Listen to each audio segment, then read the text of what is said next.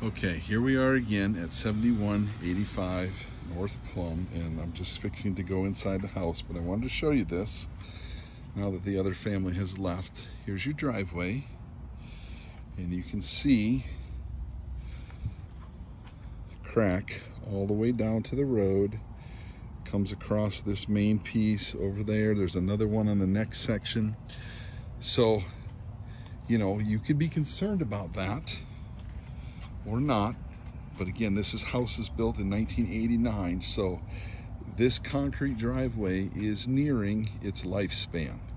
Now these can be patched and sealed and then stained over and made to look really nice. You can even put an overlay over this driveway of tile, which would look nice, but you do have cracking. And then you come in here to this front entry this has been stained, kind of a battleship blue, uh, but it needs it needs to be restained. Probably good pressure washing and restain.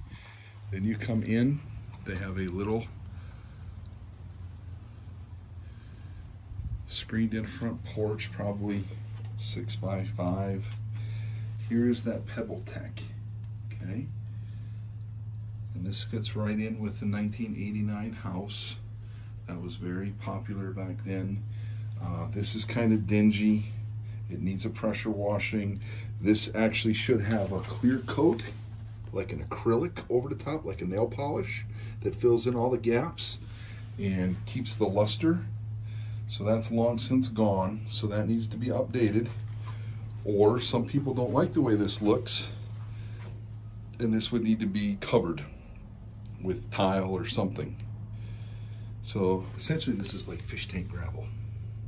Okay. Now the front door, screen porch. This is worn out. The handle's busted off. The screening's loose. So just like the outside of the house, bear with me here as I shut this door, you know, it looks like to me it's been lacking in repair. You have the original front doors, double doors.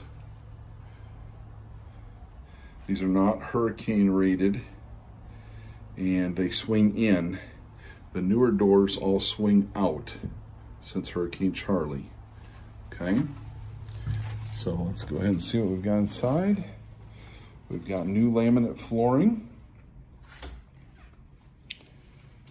in the house, new carpet as you walk in the main entry here. Nice clean paint, taupe color. Here's one thing that I see right away with this new laminate flooring is new molding. And they've put quarter round on top of three inch molding, which means that that molding was original. The quarter round is there to hide any mistakes that they did when they laid this flooring, and that was not done well which sometimes causes me concern because it makes me think that maybe the floor wasn't laid well either.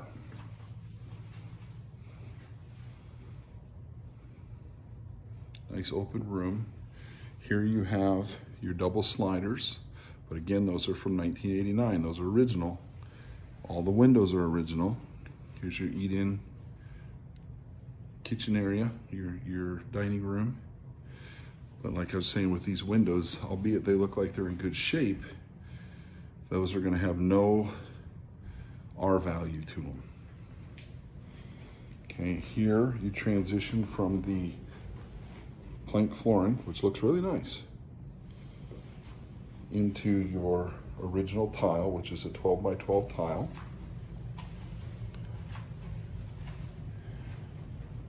This room, you have the washer and dryer into the garage.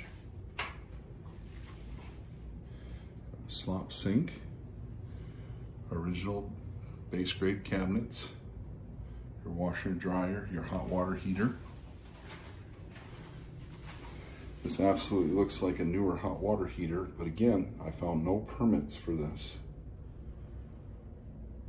So it tells me that they did a lot of work here on their own. It looks like it's done well. It has the catch pan, it has the pipe, it has the relief valve. But again, I found no permits. This is something to consider. All these outlets throughout the house, and I'll try to point some out to you. These are original. Okay, so these are from 1989. That's probably all needs replacement. So those are just little costs. You have linoleum in this room, which would have been original with the house. Off the main hallway, you have bathroom number two in its original condition. Fluorescent lighting. I'm not a fan of this. I just want to point it out. There are fluorescent tubes in here. The ballasts go bad. There's not much you can do to replace these plastic sheets. This is, this is hard to make this look more modern. Okay. Tile shower. Original steel tub. I'd say there's a little bit of play in the wall. That's kind of normal, but there are cracks in the grout. Cracks in the grout. I don't see water intrusion yet, but that would mean at the very minimum, you'd have to re-grout this and seal it. If you could go with not having the updated tile, maybe you want a different look, then you'd have to undress all this and probably leave the tub and then come back up.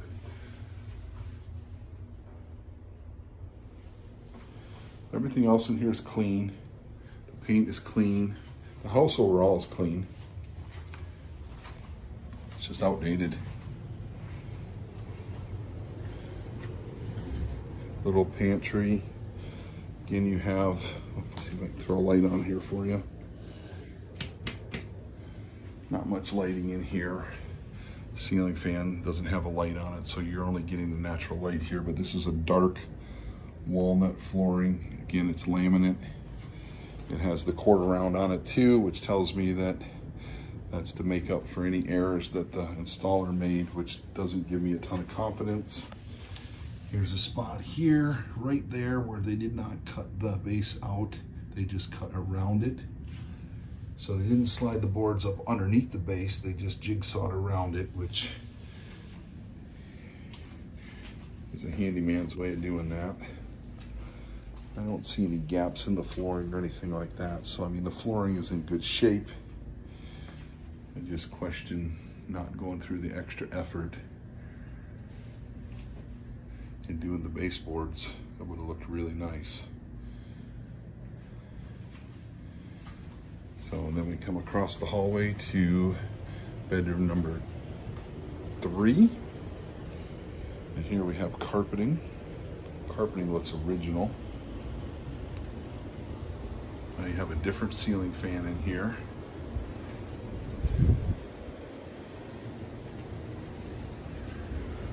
Air conditioner's blowing cold, but my guess is that's gonna be a huge energy drain because that air conditioner probably has to blow 24 seven to keep up with this house. You have original fixtures here. But you know, one of the things I noticed, you got one floor kind, two floor kinds, three floor kinds, and a fourth. Nothing matches. Most of my buyers, that drives them crazy. Then you've got one kind of ceiling fan, two kind of ceiling fans, and a third out in the kitchen. Okay, come into the kitchen. You have a little breakfast or little desk here in the breakfast area. Little pantry. Again, here's this lighting system I'm gonna try to put the lights on here for you. You see how they kind of come all on when they get warmed up. Okay, you got one out, two out, maybe three and four out. This is really typical with these lights.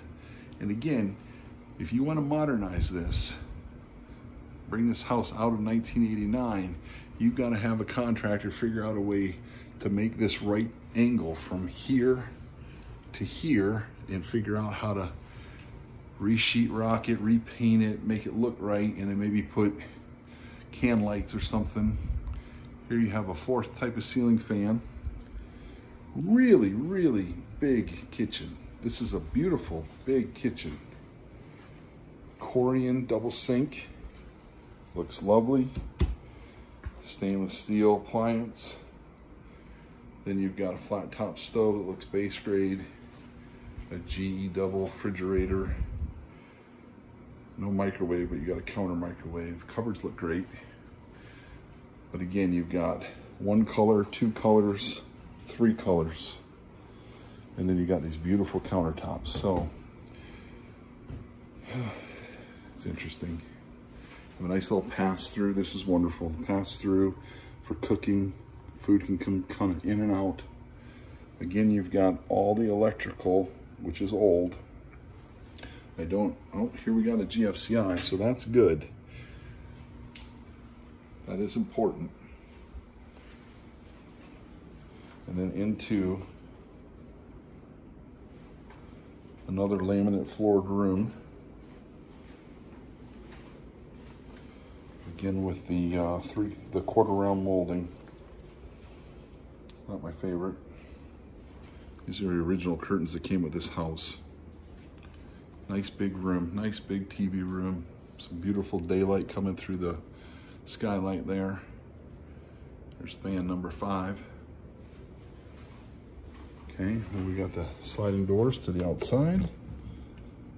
Let's see how these work. Okay, these look like they roll really nice. This is important because they've had a lot of years on them.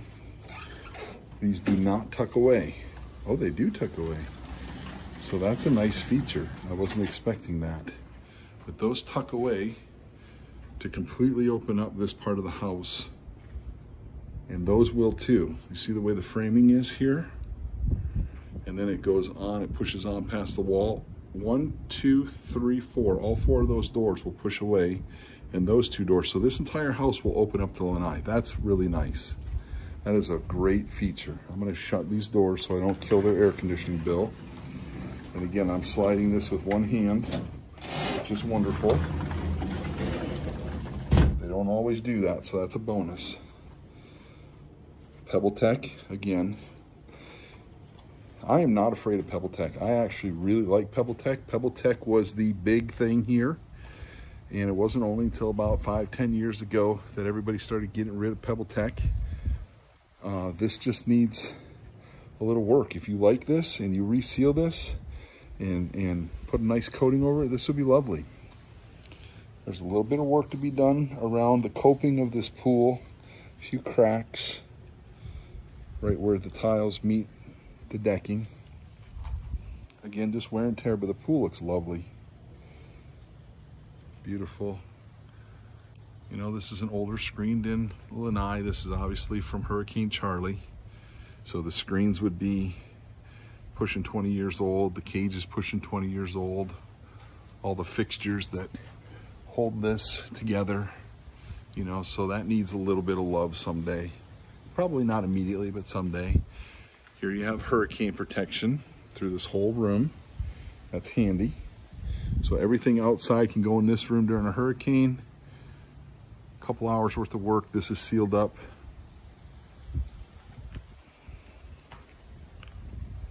Okay, it's a good size space. Uh, here's fan number six in different styles. They have three fans here, but they're all different. Nice little entertaining space. It's nice and cool here. They have a TV hung here, which is lovely. They're Packer fans, which uh, that's important to me. So we'll give them a two thumbs up for being Packer fans. This is a huge house. There's a ton of space here. Okay, now we'll head over to the master suite.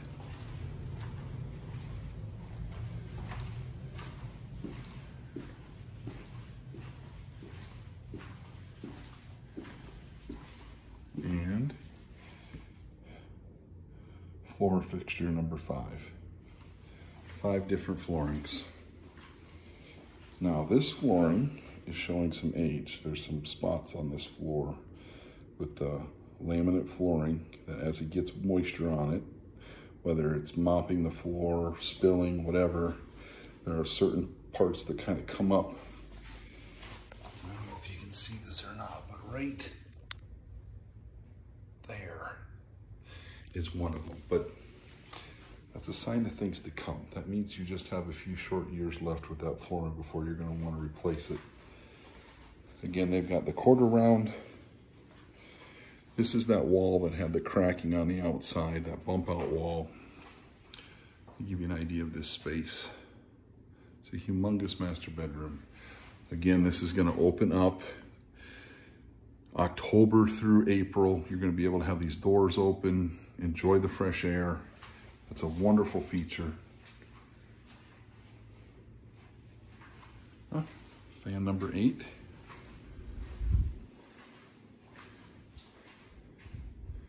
Big space. And then into the original tile floor, into the master bathroom. You're gonna have a huge walk-in closet here. The flooring matches. Big walk-in closet. Attic access here. Air-conditioned closet. Okay. Bifold doors. I can only imagine is a pantry. Linen closet. Okay, plenty of storage there. Bifold doors. And then what I can imagine would be his closet because this is how it works at my house. Air conditioned, matching flooring, clothes rack. Okay.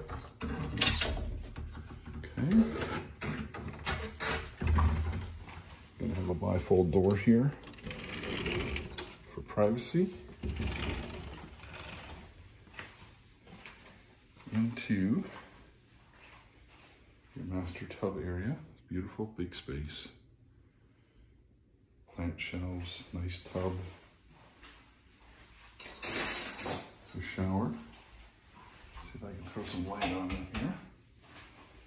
Here's your walk-in shower. Again, we got some grout issues, some dirt. Most of the tiles look like they're in good shape. There's a little bit of grout coming out. It's a sign of age. There's a loose tile right here. That's not good. A couple of tiles over there. Looks like they've maybe done some replacing here. Okay, could possibly need some updating here in this bathroom as well. You've got an old style light. Those aren't no fun anymore.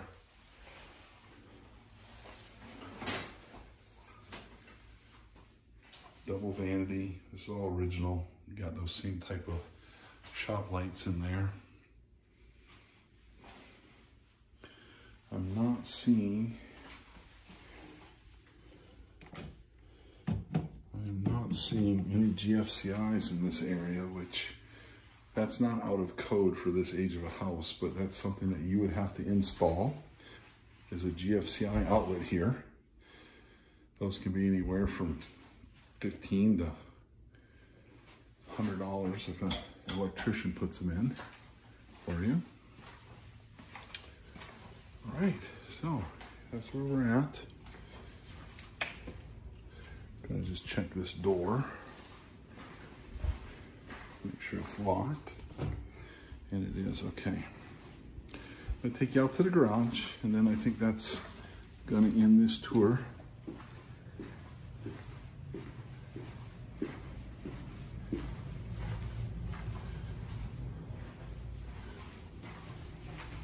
It's a two-car garage. What I think we're gonna find, on. Okay, we have one light out here, got some natural light coming through the door. Remember I pointed that door out as being old. Okay, nice painted, sealed up garage. Everything in here looks good. This house did survive Hurricane Charley. Okay. Plenty of outlets out here. You got an original door. This door would have been built with the house. So you have a 1989 door, probably a 1989 Craftsman um, garage door lift. There's not much hurricane protection here. So, you know, at some point in time, you're gonna be looking at a garage door replacement of a couple thousand dollars or more. But I would say a couple thousand dollars, you can get a hurricane rated garage door, which will save you on insurance. I don't think there's gonna be anything wrong with this electrical panel. This, I had a wind mitigation test in 2012. I don't think you're gonna have any issues with this electrical panel. This has been inspected in 2000, well, with the previous owner. They've owned this home for three years, so that was done by tailored inspections. I may be able to dig up their past report. Maybe a fee for that, but they may release the past report on this house. Here's your irrigation system. But all in all, that's it. I'm gonna go ahead and close this up. If you have any questions about this house or any other houses, please feel free to contact myself or my partner, Aaron Dom, at 941